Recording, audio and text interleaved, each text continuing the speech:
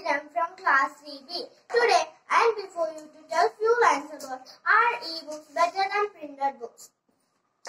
Reading books are very important and useful activities. It exercise our brain and improve concentration. First, I am going to tell e-books. E-books are wide, getting wide popularity in recent years. Uh, reading e-books give uh, eye strain. Ebook version is not available in all printed books.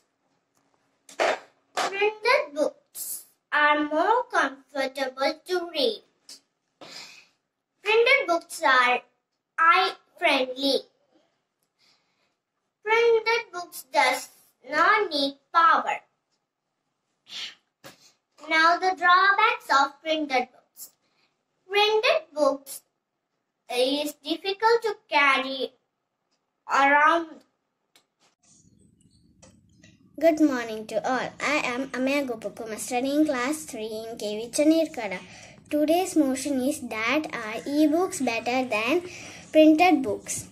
In my offer a physical feature that an e-books does not.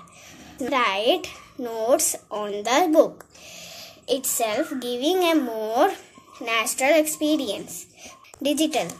Reading printed books are better for brain and health according to science. Thank you. Very good morning to everyone. I am S. Krishna.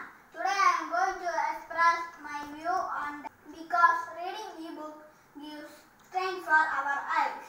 But paper books never do so. Need internet, electricity for seeing without thinking about such arrangements. We can keep our letters, notes, cards, flowers, etc. inside a book.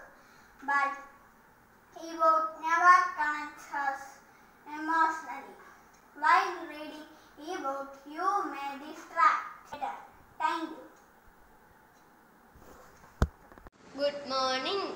I am Arju Sunil from class 4A. Today I am going to express my views on the topic Are e-books better than the printed books? According to my opinion, printed books are always better than e-books because reading e-books uh, gives strain to our eyes but printed books never do so. E-book need we you may distract or uh, through may create your own library